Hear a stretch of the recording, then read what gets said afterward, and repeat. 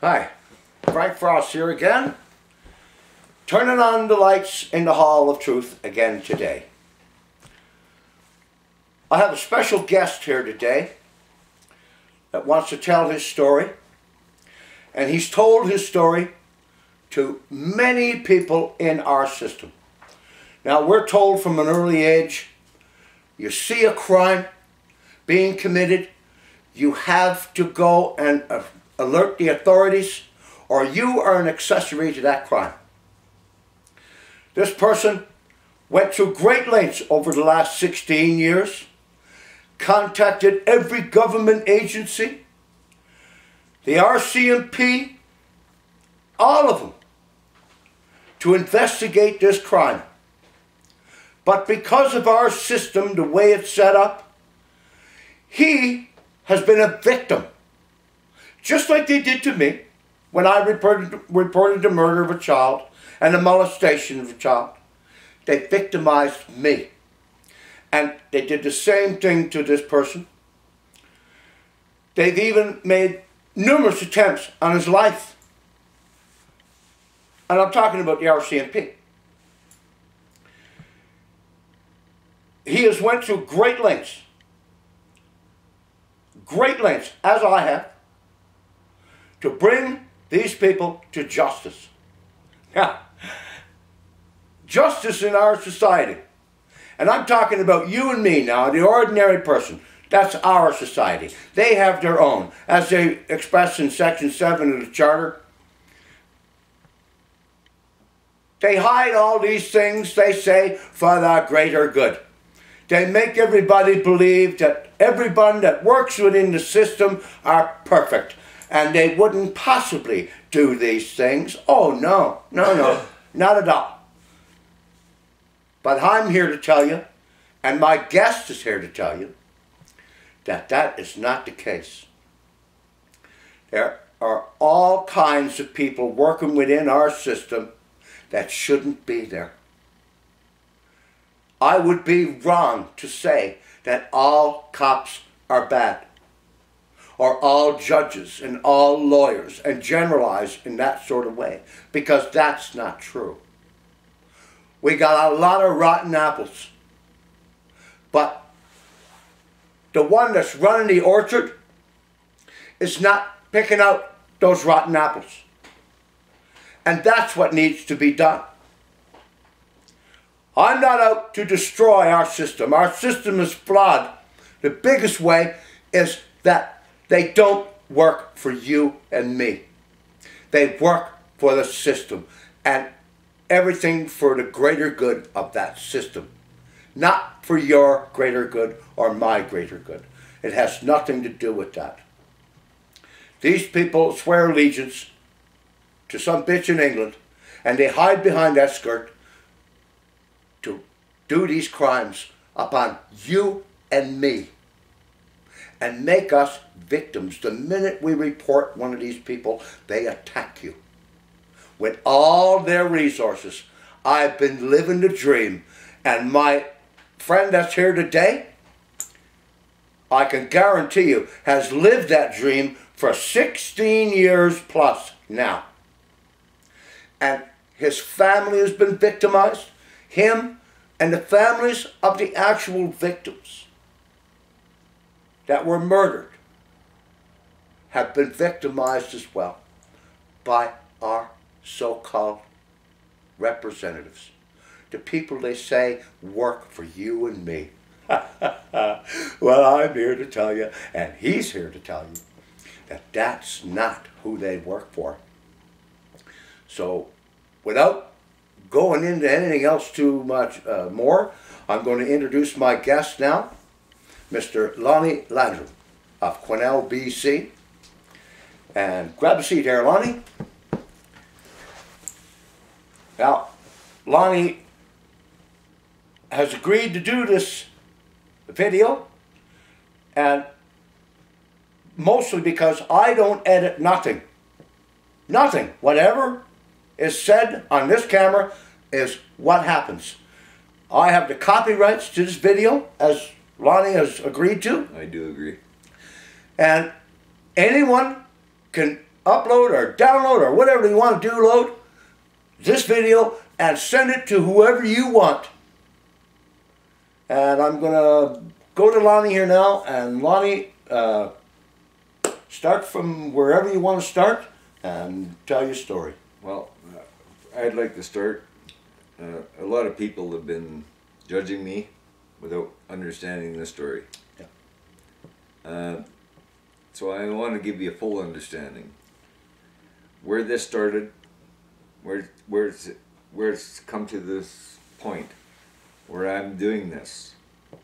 I'm not doing this for any self gain or any self benefit. I put myself here because I'm standing up for one reason, and that's our children. And I don't believe that these people have the right to do this to me or our children. And I will stand in front of them till the day I die.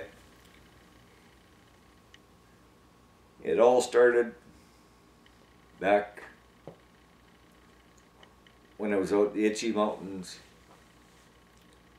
and it's gone on and on and on. And all I did was trying to stand up for the truth. And the truth stands for itself, in my belief. I, when I come back from the Itcha Mountains, I was sexually assaulted by Bev Hosker. I went to the Complaints Commission and, and laid sexual assault charges against her because I was pulled over by eight RCMP members. The one that I didn't mouth off, my brother did. And I've been a victim of this system since then. When I tried to stay out of uh, the drug trade, because I had been involved in the drug trade when I was a kid. I grew up on the streets, and I want people to understand this. I did grow up on the streets of Quesnel, and I had been victimized prior to. When I tried to stand up, I got sexually assaulted, and I did charge her sexual assault, which no investigation ever took place. I went to the complaints commission. No investigation ever took place. Now, this Bev Hosker, was she a cop or who? who Yeah, was she was a member of the RCMP. Member of the RCMP, Okay. Yep. And the one that my brother mouthed off, mouthed off at the Itcha Mountains Yeah. was a member of the RCMP, uh, Bob Zimmerman. Okay. And he chose to victimize me. Three days after I come out of the Itcha Mountains, I was attacked by eight members of the RCMP. During me uh, driving somebody home and listening to them express to me what they had just saw about an abduction done by the RCMP. And who was the who was the person that was supposed to be able to have been? Bob Johnson or uh, Johnson, I think his name was Johnson. Uh, I can't. Uh, And that's the person that was abducted. that yeah, and they, Okay. yeah, and they still haven't found him. Okay. Um, Oh, they haven't found him at all. no, Okay. um, they took him down to the airport. They flew him onto the airport and took him for an airplane ride, and they haven't found him since. Okay. I mean, these people, the RCMP, are victimizing me.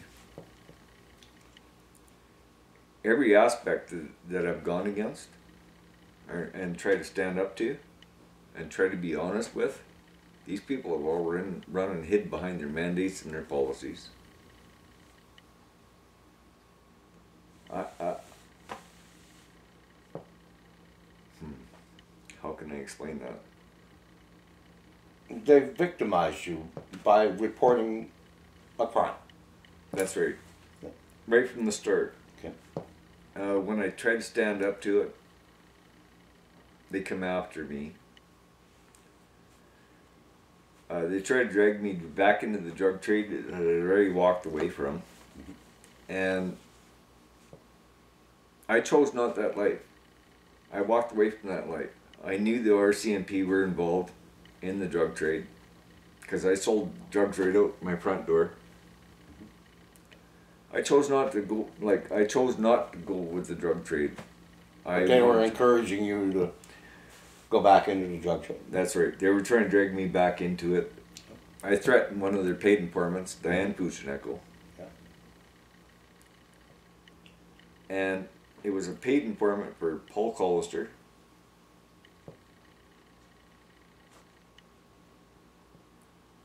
And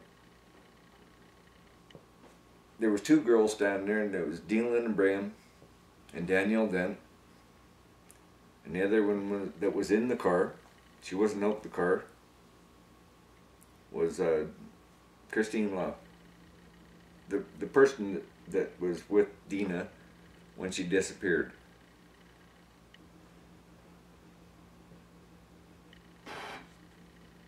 I had threatened her cop, or their paid informant, I should say. Yeah.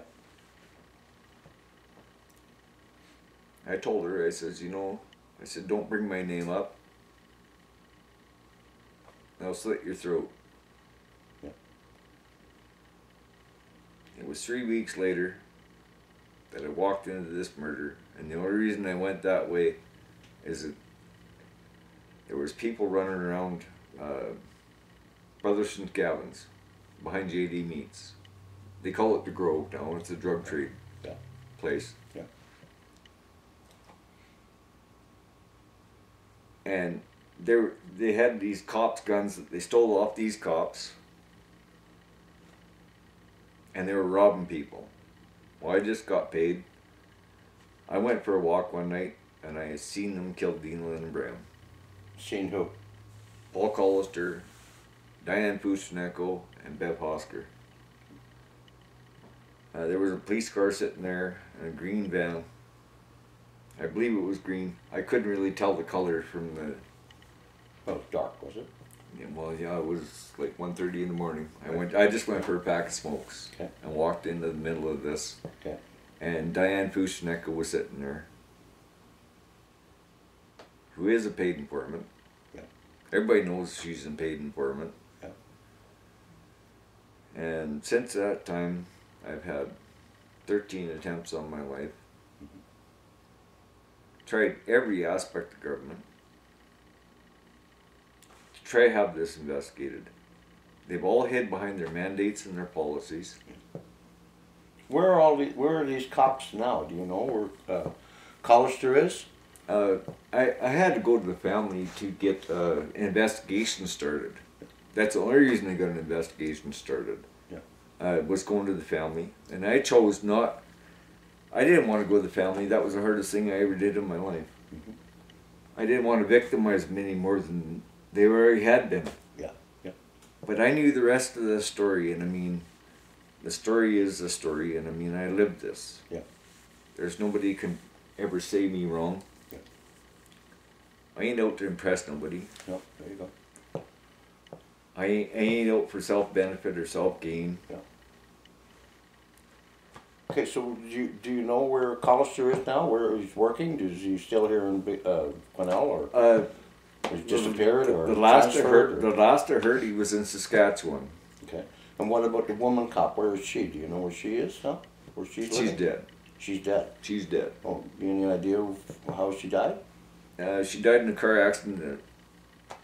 I believe that was arranged. Oh. Uh, no, they probably drugged her with the same drugs they used on my friend, but I can only assume for myself. Yeah.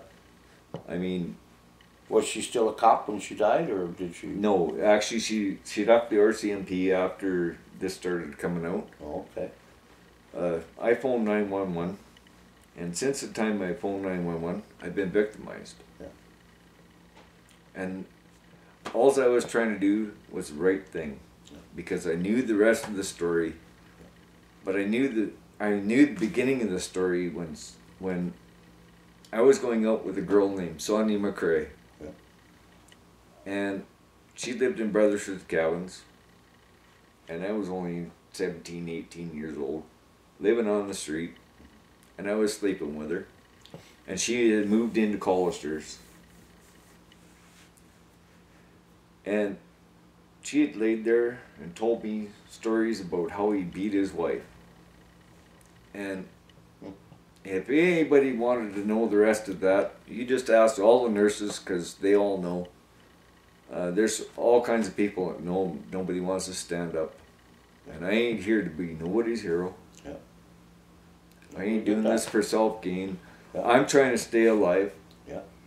And I ain't out to impress nobody. Yeah. I just trying to protect our kids. And I figured that's if it ain't if it ain't for that reason. Now, at some point, uh, uh, Collister and other RCMP officers uh, came to your home uh, to kill you. Isn't that a fact? Yes. And I shot him in my house. Yeah. He come And in Where did you shoot him? I shot him in the left arm with a 12 gauge shotgun with number four bird shot. Yeah. And nobody in government will stand up and say, and get and get the medical records. Yeah. They they all sent me to the complaints commission, Yeah, of course. which under Canadian law Yeah. has no mandate to investigate the RCMP, Yeah.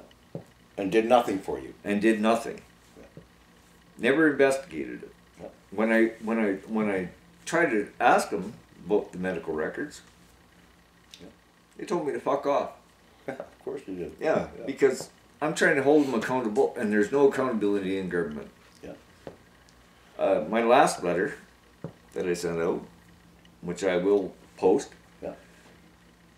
And by the way, we're going to be posting all of Lonnie's letters that he sent, and all the responses and the non-responses that he got from all of these people that he tried to contact, and and told them his story in his letters, and uh, they did nothing. But we're going to post them all anyway on a separate card, so you can view all the documents as well as watch this interview. Now, I, And- and- sorry, I didn't mean to interrupt you, Lonnie. No, no, I understand, Frank. Uh, hey. Yeah. It this is so overwhelming that I can't even believe that this is happening in Canada.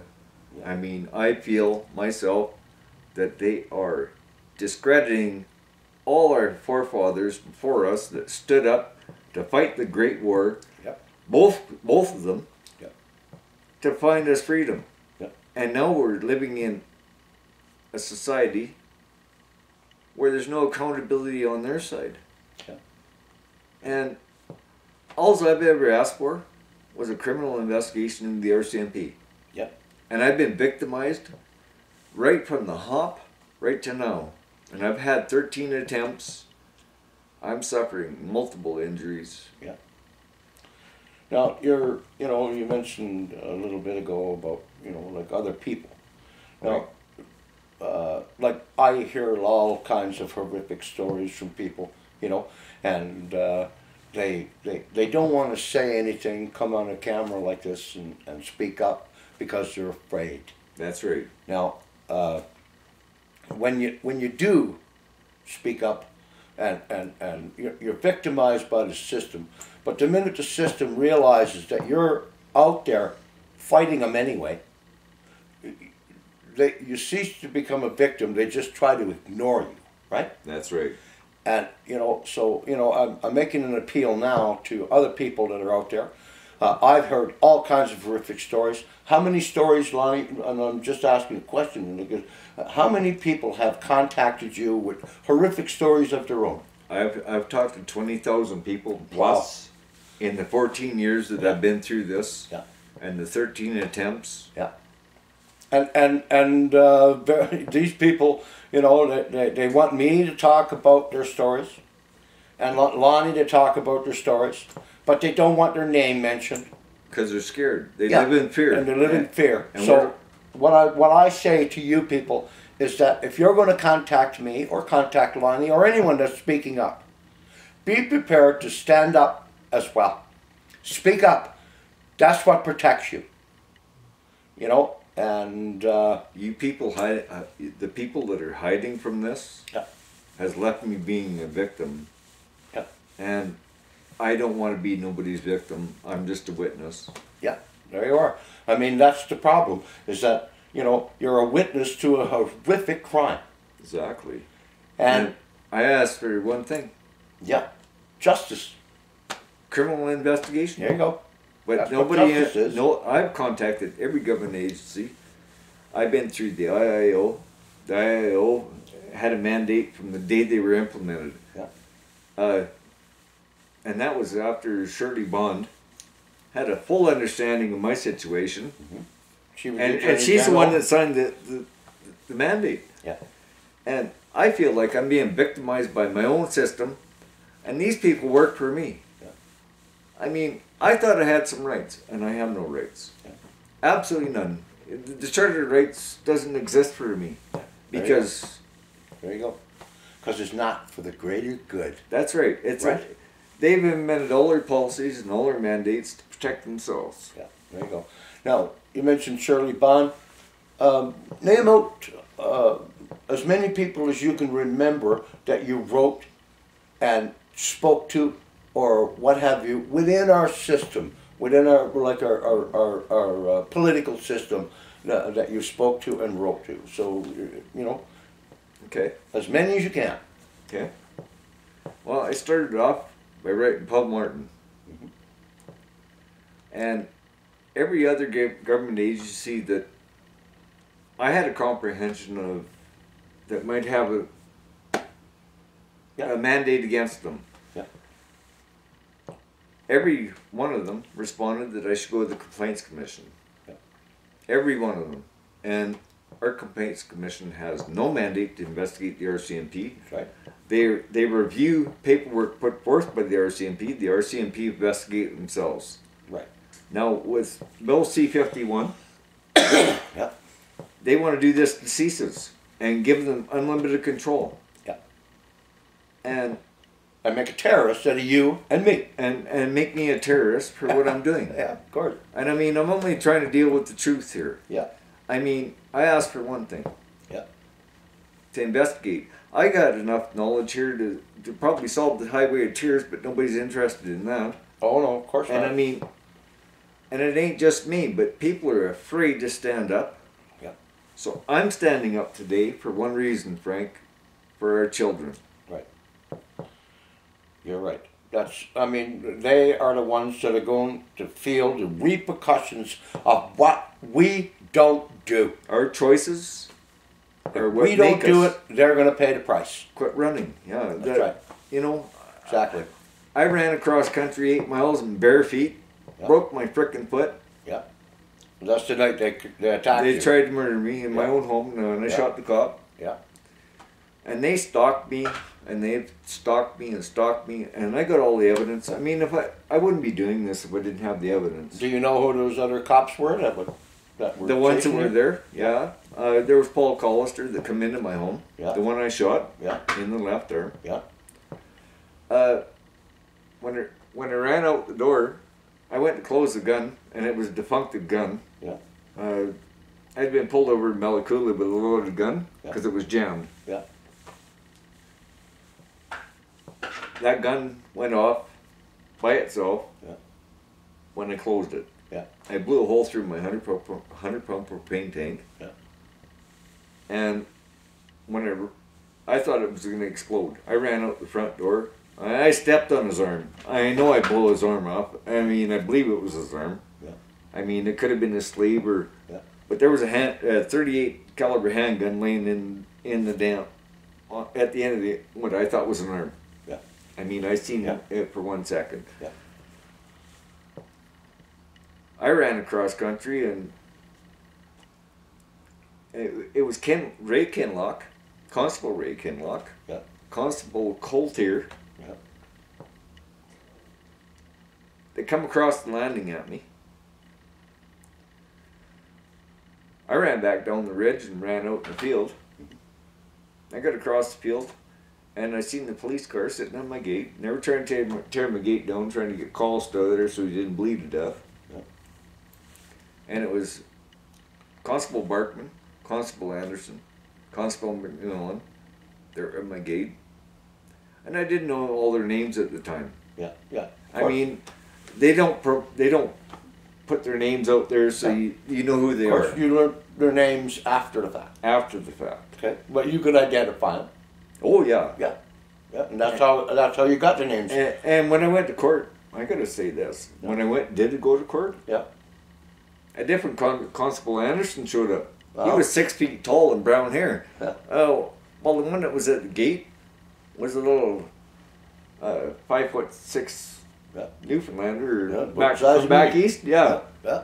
Uh, Yeah. And he was the one that pulled me over. But when I went to court for my my impaired, Yeah. because they were trying to victimize me, Yeah. so they come after me. They knew that I was at the Yeah.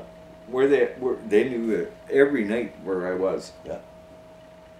I always went to the Billy Barker Hotel, and I wanted to associate with people because I like people. And they just victimized me. They come after me. They've still come after me. Yeah. They wanted they wanted your firearms taken from you as well, didn't they? In court. That's that's right. They, Yeah. they testified in court that I was dangerous to police, yeah. but they were never there. Yeah. And and, and, and I'm kind of wondering How are you dangerous to police Well, if they weren't there? if they weren't there. I mean, it's my house. If I want to shoot through my door, I can shoot through my door. yeah. Uh, normally, I wouldn't shoot through my door No, of course not. unless I want to check, check, te- or check the thickness of it. you know what I Yeah, mean? that's but right. Yeah. yeah, hey, real's real. Yeah, that's right. You know, and that's what I'm trying to be. Yeah. And this is the reason I'm doing this, Yeah. Is because we have to get real and hold these people accountable. Yeah.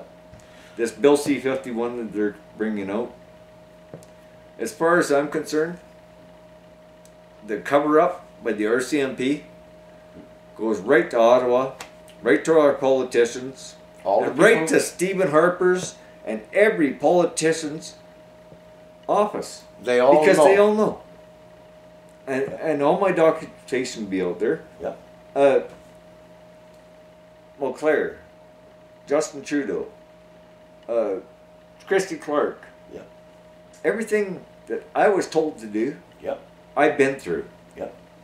Everything. Yeah. There is nothing I haven't done. Yeah. They're supposed to report Because- crimes. I will stand up for our children Yeah. for the my whole life. Yeah. Good for you. And anybody that thinks that I'm doing this for self gain, better come talk to me and I'll show you the truth. Well, let's let's let's go back a little bit now to the actual witness, the, the crime that you witnessed of of, uh, of uh, that girl. What's her name? Deena Lyn Braem. Dana. Okay. Uh, now, let's let's let's go back to that Okay. and describe exactly what you saw these two cops and that uh, paid informant do. Okay. Okay. Now this could be hard for me, Frank, and I, I know. tell you. I know. I know. Because I gotta relive this. Yeah. Yeah. Okay. I went for a pack of smokes, walking up the trail. I I just had sixteen hundred dollar paycheck in my pocket. Yeah. I just heard that there was robberies going on at the Grove. Yeah. And that's what they call the drug dealers down there. I chose not to go that way. Yeah. I thought, no, I'll just walk up to uh, Pinnacles Park Yeah. and go get a pack of smokes. Mhm. I was out of cigarettes. Yeah. And I'm sorry I'm a smoker, but Oh, oh, whatever. I'm a My choice. but whatever. Uh, what I walked into, I heard, I heard, I heard motors running. And I'm kind of self perceptive. And when I got up there, uh, I looked over the hill and I seen this police car with lights on both sides. In front of the police car was a green van. I believe it was green. I, Yeah. it may have been blue. It could have Yeah. been. Yeah. And I seen there, oh, seen Collister get, get out of the van, and I had known Paul Collister because of the threat that I give his paid informant. Yeah.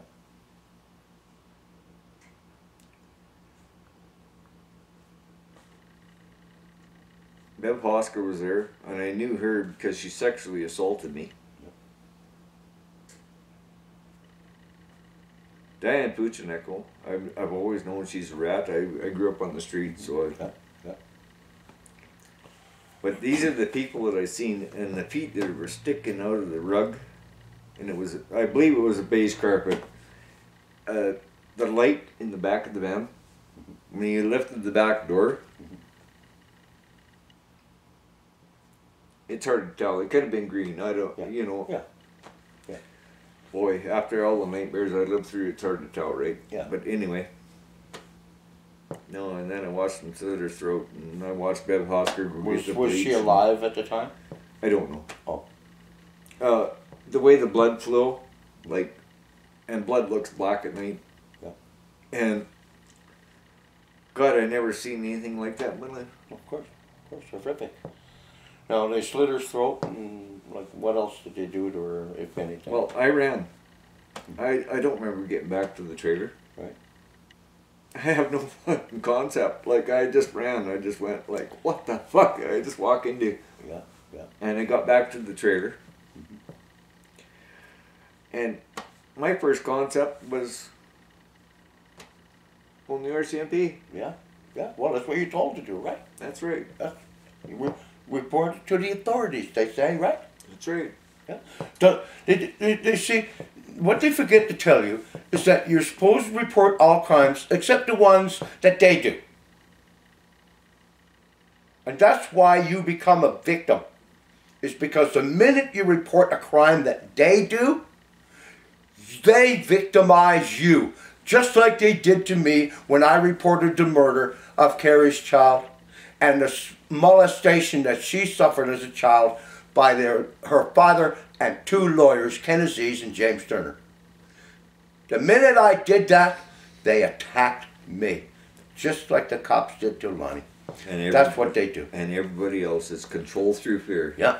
And the only way to get around these people is put it out on the social media first. Stand up. Then go and tell the rest of them. Because if you don't, they will victimize you. If you if you tell your story out here on the social media, sitting next to me as Ollie's doing, they can't attack you. If they do, well then we know who hurt you, don't we? So they can't really come after Lonnie now and murder him in the street down here. Because I'll know and you'll know who did that. And they can't afford that because they're perfect, remember, in their society. See, and, and- and my last letter, Frank. I got to express this. Mm-hmm. Yeah. Is I refused any offer or contract by any member of the RCMP due to the threat to my safety and my life. Yeah. Pretty And- sad and- you had to do that, isn't it? And that's what it come down to. Yeah. And at this time, I expressed my right to sovereignty Yeah. because I am a sovereign being. You bet. I do not. That those, those people do not represent me anymore. Nope. I claim my property, Yeah. two square miles, all mineral claims, Yeah. all airspace Yeah. around my property as my sovereign right to be an individual. Yep. And these people can all go float a boat. Yeah. Because they do not represent me, they're representing themselves, and That's that's for self gain and self benefit. That's right. And, I, you know, that's my perception, Yeah. and that's my response. we share that. We share that. I mean, it, it, uh, all they're doing is protecting each other. that's right. Now, the, the- and that, you know, you gotta gotta be a part of the problem or a part of the solution. Part of the solution is when somebody reports a cop like Collister murdering somebody, they need to go and get that cop and get him out of our system and charge him with those crimes and put him in prison where he belongs. That's what I advocate. I don't advocate going around killing all cops. no, I don't either. Nope, because it's not all cops that are doing this. And the ones that are standing back and not saying anything and, and, and, and endorsing and, and helping these cops get away with these crimes. You are a part of the problem. You will never be a part of the solution until you speak up and say, this is wrong. And my oath of I will follow orders goes out the fucking window. And you actually stand up and protect our society, our children. Your children, your very own children. You cops that are not saying anything.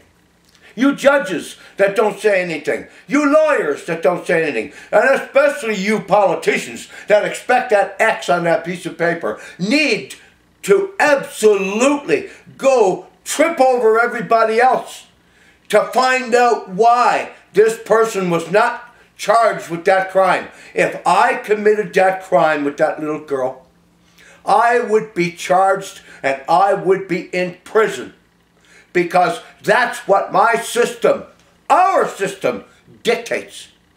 That's not happening here. And I found that the RCMP are above the law. Sure they are. Sure they are. They have sovereign immunity. Sovereign immunity. So I, you know, No like, accountability. no accountability. And I mean, you know, like uh, people like us, we come forward, we get victimized. I never had no criminal record until I reported a murder. You know? They have one mandate, Frank, that Yeah. I believe they have one mandate Yeah. to make us all the criminals and, and feed their system. Bill C 51 is trying to do that. Bill C 51 makes me a terrorist. And me. and you and anyone else that speaks up against the government or any entity of that government. That can't happen. They're, When you lose your voice, your society ceases to exist. and if the laws don't apply to all, They then- don't then- apply to then none. they shouldn't have to apply to none. no, no. And that's right. Absolutely. That that is my I- reason for claiming sovereignty. Yeah, I have said that in open court. The laws apply to all or the laws apply to none. That's how a society is supposed to work. Not the laws apply to you And not them. and not them. That's not how it works. I'm not a It slave. can't work that way. Well, we all are I'm not a slave to their society that they're No. they're they're benefiting and I'm Yep. getting nothing. well, that's what we are, aren't we? Yes. We're slaves to this society that we're supposed to uh, believe that everything is rosy and they're all perfect and we're all a bunch of fucking criminals. That's right. Or we're delusional. Delusional. And they All come after you with psychological oh, yeah, oh, warfare. Sure. Oh, yeah, we're all delusional. Yeah. Uh, we are all delusional if we think that these people actually work for us because they don't. And the ones that try to, they get victimized too. So they just don't say anything. Oh, like Vic Toews when he stated in Parliament Yeah. that he was going to look into the getting the medical records of Paul, Paul Collister Yeah. because I've never ever not said from Yeah. day one that I didn't shoot him. Yeah. There you go. But I cannot get the medical records Yeah. because there's absolutely nobody with mandate to do so. Oh no, of course not. Freedom of Information Act protects them there, right? And uh, and you're not going to get a judge to give an order to that effect. And uh, you know, and and uh, I mean, you know, when you do go into court and say something in court, they strike it from the record, and Right. they're in control of that. That's right. And when you do go to court, they silence you with the gag order. You bet. Uh, so I can't speak. Yeah. I I could I for Yeah. myself. Yeah. I could always prove my case Sure. and made it about money, Yeah. like Mrs. Ukansky and Mrs. Sue Bush. somebody. Yeah. And I understand why they did that Yeah. because they were wrong. Yeah. But I chose not the money. Yeah. I chose this for our children. Yeah. They And- said they said the same thing to me. Yeah. Get a lawyer, get a lawyer, get a lawyer. And the minute you get a fucking lawyer, all of a sudden it's about money. It's about the crown. And you're supposed to take a pile of money Yeah. and walk away and they don't get charged with their crimes. It's buried. That's what they do.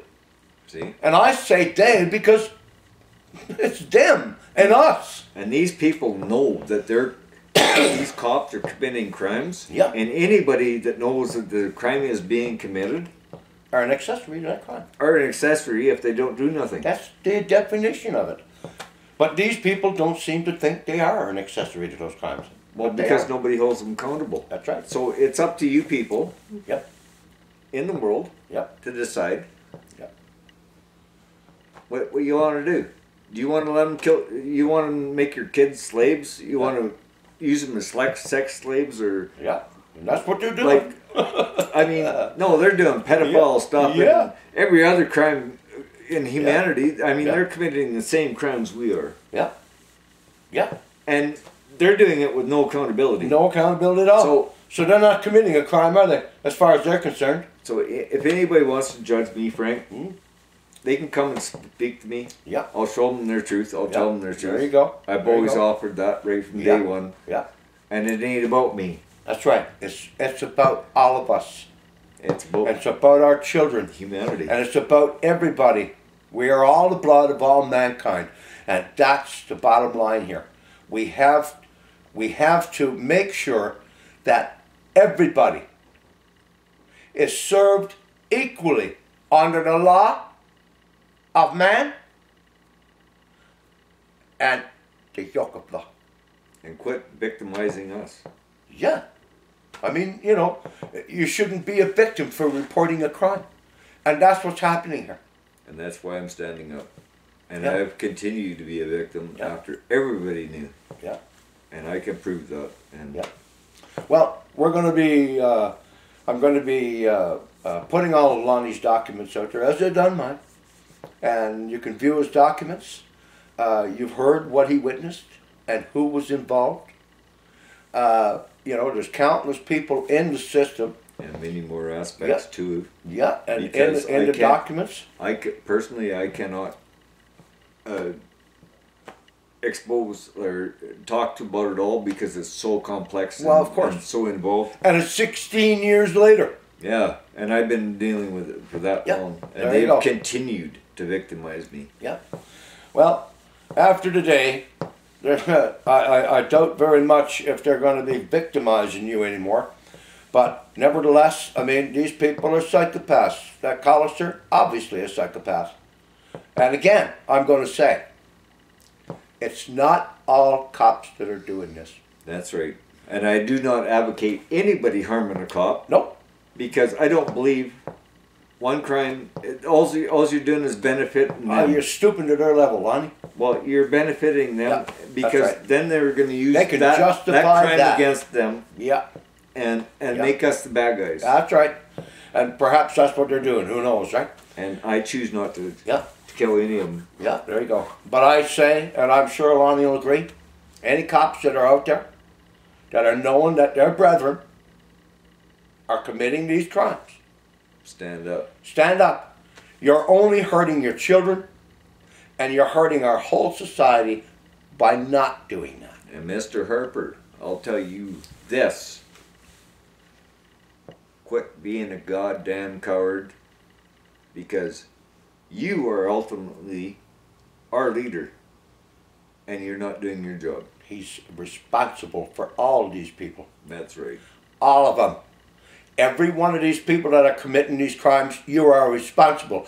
And you are also an accessory to those crimes, especially when I have contacted you about crimes, oh, Lonnie has contacted you about crimes, and numerous others, I'm sure. And you become an accessory, sir. And I don't want a leader in this country that's an accessory to pedophilia and murder. And nobody else does either in our society. Perhaps in yours, Yeah. but not in ours. Anyway, I'm gonna we're gonna call her quits. Thank you for your time. You're very welcome, Lonnie. And anybody out there that wants their story done the same way, feel free, come and see me. And everybody that watches my videos, I know there's hundreds of millions and billions of people around the world that do this. Because they know that I turn on the lights in the Hall of Truth. Come and see me. And remember, say my name so these sons of bitches know. Lonnie doesn't want to be famous. I don't want to be famous. We couldn't care less about fame. We're talking about real shit here. Truth. Truth. And turning on the lights in the Hall of Truth. Till next time when I turn on some more lights for you. Can I say one more thing? Sure, go ahead, say whatever you want, Lonnie. It's about time we stand up Everybody, because they're going to victimize our kids. all of and them. I will not allow that in my life. They're doing that with Bill C-51. And they're going to victimize us all. Yep, Thank you. I agree. You're welcome, Lonnie. Thanks, guys. We'll see you again.